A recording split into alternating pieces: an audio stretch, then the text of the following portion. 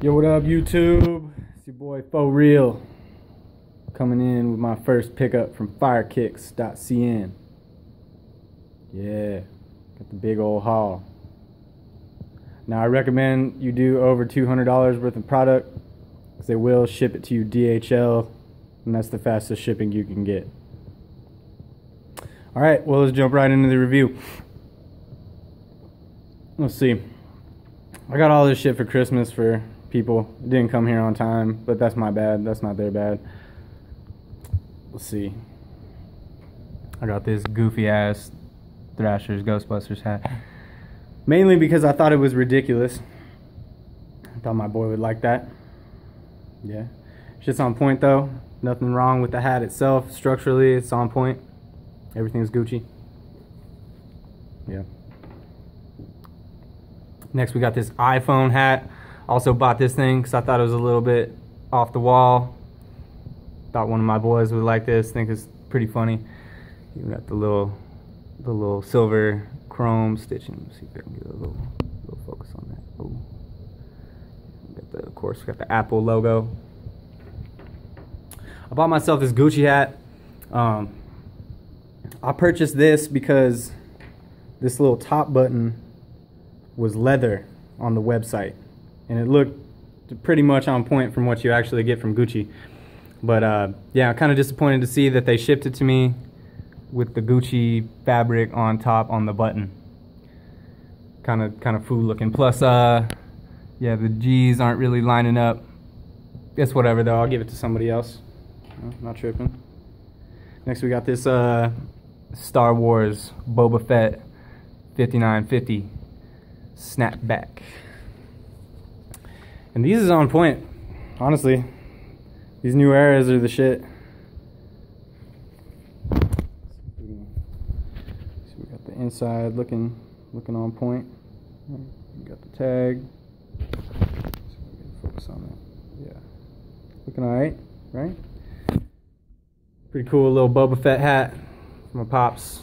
So we got a little Colorado Rockies hat again. The new eras are on point. They're like six bucks, so I mean, run up that free shipping on hats. That's basically what I did. Black and gold, looking on point. The thing that I found funny about this is it says it has the 940 sticker, right? And you open this shit up, and it got the the 950, which is whatever. I'm just gonna give it to my boy. He's gonna get a little little crack out of that. He's gonna think that shit's funny. Got this uh, Toon Squad hat, Space Jam. All right, we got the starter black label. Not a not a starter embroidery logo on the back, but whatever, that's cool. It's all right. We got the the starter on the on the inside. It's on point. Tag's a little funky. Whatever though. Got this Supreme hat. This looks alright on the outside. You know, honestly, I've seen the real one. Now, now this. Damn, son. Very foo. Very foo. Whatever. You know, put it on your head. Don't take it off. Don't play with people. See, I got the Anaheim Mighty Ducks jersey in a 56 or a 3 extra large. Now, I bought the 3 extra large thinking from watching all the other reviews and whatnot, they said the jerseys on the website were pretty uh, true to size. And I don't know, man, like hockey jerseys are usually pretty big. So if you're getting a 3X in a, in a hockey jersey, expect that to be large as fuck. And this one, it's more like a 2X or an XL, but definitely not a 3X. But it, other than that, the patches, super on point, super high quality. We got the CCM tag, got the CCM on the back. Now we got these Dior shades. I picked these up for my lady. Um, basically, if you go to Sunglasses Hut to purchase sunglasses for regular price, designer, you're a fucking idiot Cause uh, I don't know, man. These is on point for sure. It's Got the little, I don't know if you can see that there glistening. So we got the Dior. Yeah. Yeah, came in this nice box. You know what I'm saying? Got the Dior. Got a little silk bag for it. It's on point. Super on point for 40, 40 bucks or whatever. Yeah. Hit your girl up, Lillian. Hook you up with the fire sunglasses. This Louis Vuitton wallet it's all right. It's really not not bad. The print on it is on point. Everything's crispy. The inside of the wallet, I don't know. It looks a little foo, but I'm not about to not about to get bummed out about that. I think this um this zipper thing here was different on the website from what they actually sent me. But again, whatever. I mean, it was 16 bucks, so you really can't complain. Um, the most on point thing out of this whole package, really, I think, is this Gucci polo with the snake and the bee. I got an extra large. It fits like a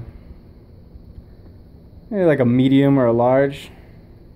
I don't know. I'm kind of a little dude, so it don't really matter. See, we got the the on point Gucci tag right there with the two stitchings. The only thing that's not on point about this thing is it doesn't say the size on the tag. It says it on this foo ass China one. But um fuck it. Whatever. If somebody tries to come up and test your Gucci, uh yeah, don't let that happen. You'll be good. And this is uh I got this for myself. Which ultimately I think I'm I'm the most bummed out of anything in this entire order on this belt, right? Because I spent hours.